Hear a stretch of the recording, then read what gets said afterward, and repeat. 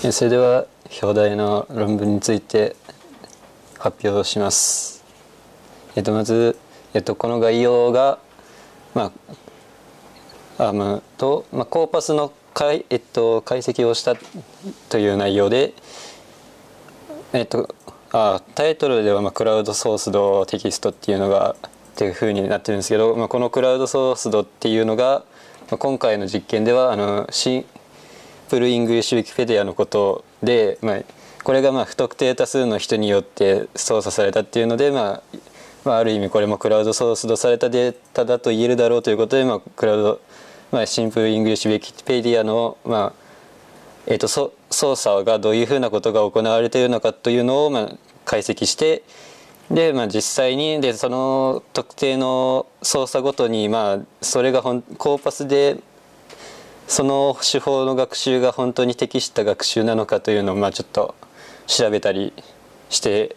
でまあ実際にまあ最終的には実験としてはそのそれぞれの操作を自動で分類するというものをまあ作ったのが、まあ、でその精度っていうのが一応、まあ、言い換えと情報の低下に関しては、まあ、73と96%しか出な出なかったというふうな結果でした。でまあ目標というのが、まあ、さっきも少し言ったよう言ったんですけど、まあ、言葉ああていうかさっきのであの English Wikipedia の中だと言い換えと情報の低下っていうのが、まあ、多かったっていうのなんですけど、まあ、言い換えとかっていうのはまあ抽象的な変化が多くて、まあ、そういうのをコーパスで学習させようとしてもなんか誤った操作をすることが高くなるので、まあ、そういうのをデータを取り除いた方がまあいいえーと、学習させるには適しているんじゃないかっていうことで、まあ、最終的にモデルを作って自動で分類できるかを、まあ、試したということでした。で、まあ、関連研究としては、まあ、 English Wikipedia と Simple English Wikipedia の両方で、まあ、言語の複雑さを統計で分析ししたというようなものや、まあ、スペイン語のまあ、この分割と削除と縮小の3つに関して分類を行って F 値が92%だったというような実験がありました。で今回実験として行うコーパスはあ、まあ、そのシンプルウィキペディアでからランダムで143分を抽出してそれをまあ人の手によってまあどどの処理が行われたのかっていうのをまあえーと、情報をつけます。でまあそれをまあパラレル、えー、まあ143コーパスというふうに名前を付けています。でまあ、まあ、表のこっちで、えーと、センテンスっていうのがまあ143分でその中に、えーと、それに、えー、とどういう操作が行われてたかっていう情報が全部で299個あったということで、まあ、約平均取ると1分に大体2つぐらいの操作が行われている2種類の操作が行われているっていうことになります。でそれぞれで、えっとまあ、このナンナンバーオブ TOS っていうのがその,、えっとその文の中にの行われた数のことで、まあ、1 1回しか1種類しか操作がなかったっていうのが、えー、と全体の143の中で69しかなかった69あってそれがまあ大体ほぼ半分ぐらいというようなふうな表で、まあ、ほぼほとんど1回1種類の操作しか行われてないということでした。で、まあ、さっきの TOS っていうのが、まあ、へえっとまあえっと、文分割と還元情報の欠落文の並び替え情報の挿入という操作で、まあ、それ以外一応、まあインえっと、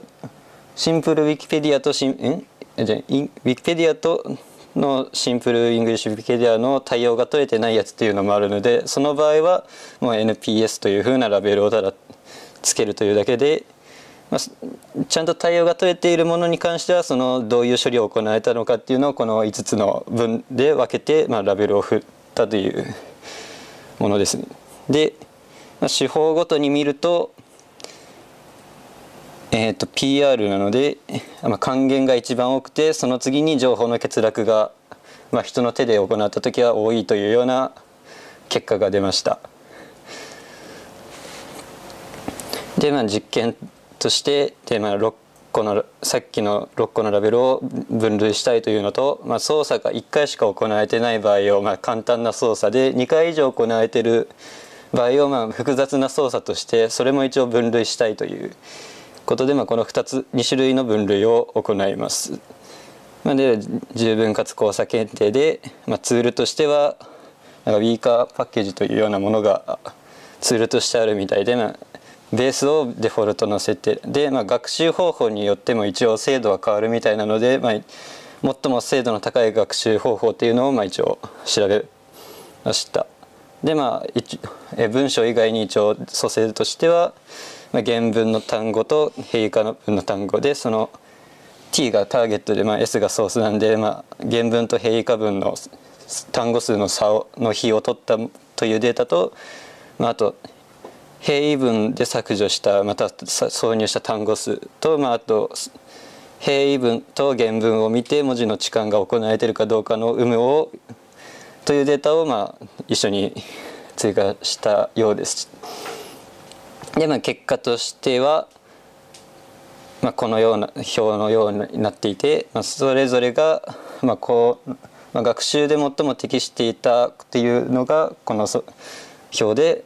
まあ、それに対する実際の精度っていうのがそのあのモモデルの数値になります。で、まあ、結果としては NPS っていうので対応してないデータっていうのはほぼ9割方は、まあ、これ判断これで判断することができるということになったんですけど D、えー、と情報の欠落や言い換えに関してはやは、まあ、他に比べるとまあ低いっていうことは分かってで、まあ、学習方法によっても、まあ、10%ぐらいの差が出るっていうことで、まあ、やはり、まあ、何らかのまあえーとまあ、痴漢とかに関しては、まあやまあ、別の手法を試し、え、コーパスで学習させるよりは別の方法で、まあ、使った方が精度は高くすることができるんじゃないかみたいなふうなことを書いてありました。であと SC っていうのが、まあ、1回行われたか2回以上行われたかという制度の話で、まあえーとまあ、81%一応出しています。で、まあ、まとめると閉化操作っていうのがまあ還元ではまあ難しいあ還元が多いんですけど実際コーパスで学習させようとすると難しいということで、まあ、精度を向上させるのなら、まあ、そういうのでフィルターを使っ作って、まあまあ、精度を上げたいということまあ、というふうに書いてありました。